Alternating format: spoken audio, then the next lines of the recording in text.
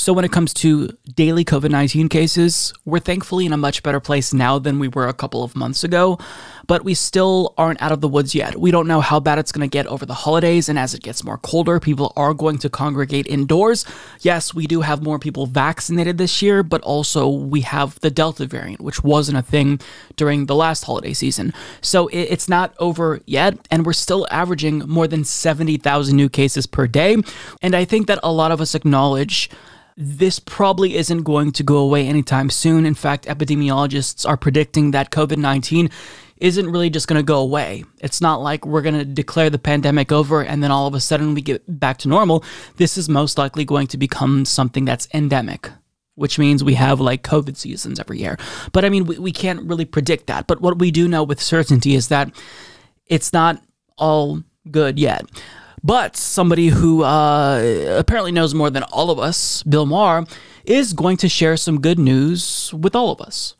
The pandemic is over. And it's over not necessarily because we're at a better place, but because Bill Maher, non expert, is unilaterally declaring the pandemic is over. I don't know that the virus got the message, but nonetheless, Bill Maher is very confident that things should return to normal and that Republicans who haven't done anything to try to mitigate the spread of the virus, they're actually the ones who are handling this the best.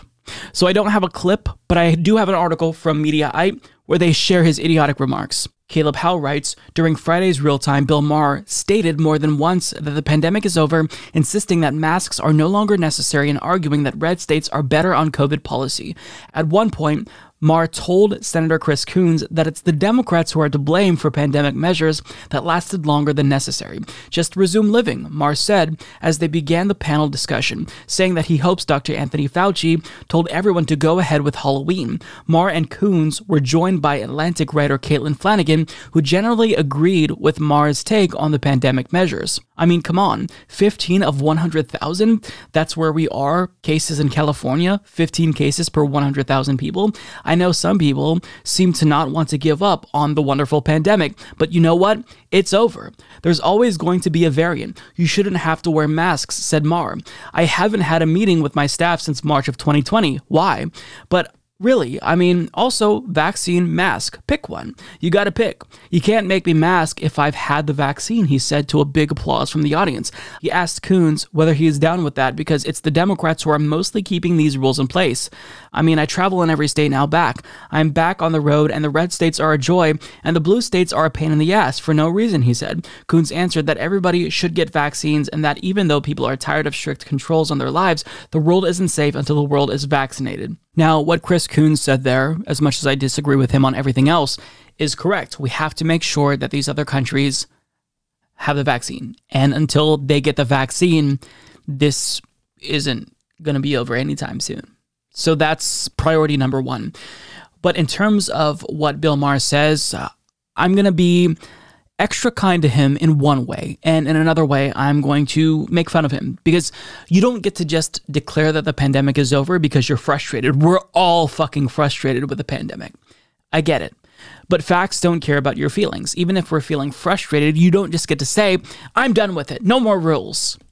I mean, okay, that would be lovely in theory, but it's still very much going on. A thousand people are dying every single day. In fact, on the day after uh, Bill Maher made this comments, or the day before Bill Maher made these comments, rather, 2,000 Americans died.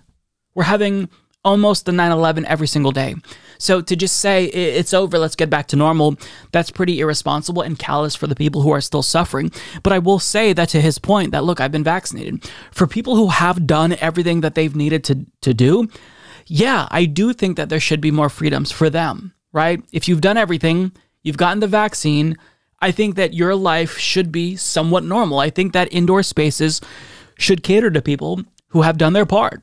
So if, you know, you want to feel safe and go to a movie theater by being around vaccinated people and you can show proof of that, I think that's permissible. I think that's acceptable.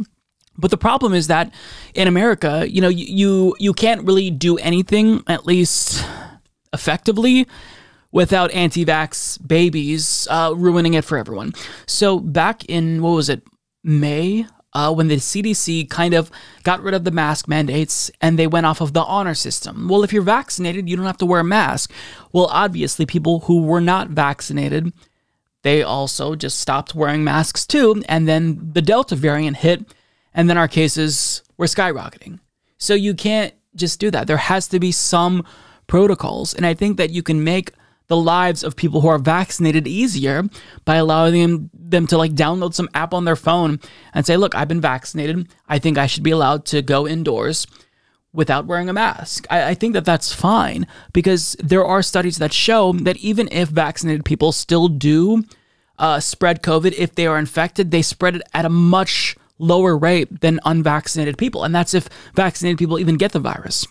So uh, I do agree with him that sure, vaccinated people, people who have done what they need to do, who are responsible citizens, they should have more freedoms.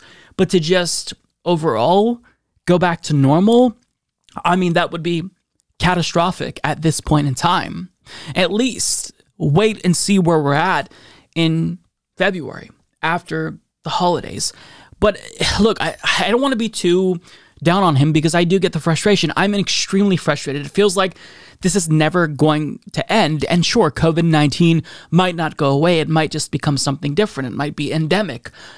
But at the same time, it doesn't have to be this bad. If we were in such a terrible country and we actually did the bare minimum to try to mitigate the spread, and if we paid people to stay home, and if Americans weren't dumber than other citizens in other countries, then it wouldn't be this bad. But it is bad because in America, we're entitled little pricks. And if you tell us to mask up, we throw temper tantrums. If you tell us that we need to get vaccinated, we throw temper tantrums. There were conversations that uh, our parents were probably having and grandparents were having when it comes to seatbelt laws. Oh, why? I'm not going to wear a seatbelt. This is authoritarianism. I'm going to avoid all the states that require me to wear a seatbelt.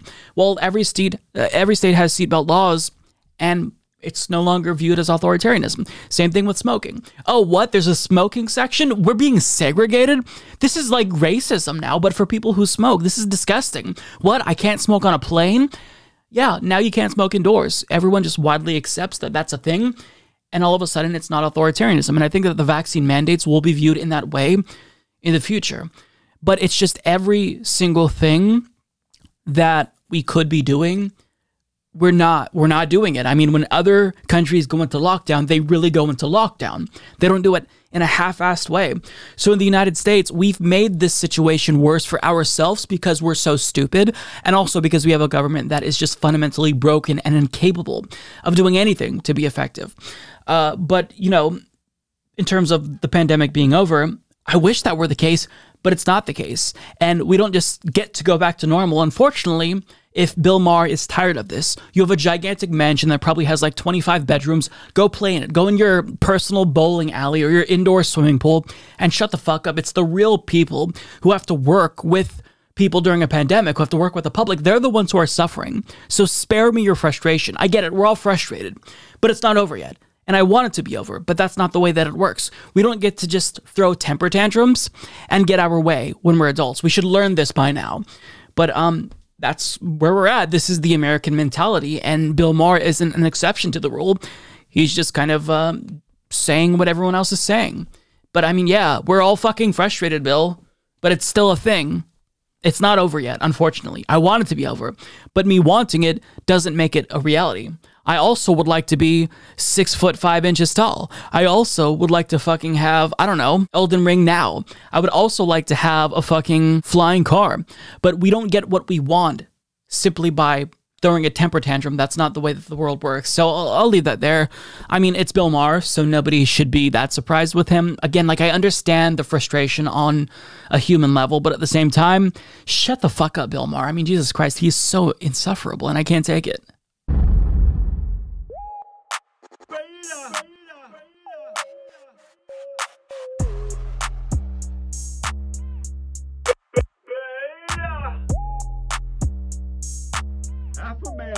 A beta male.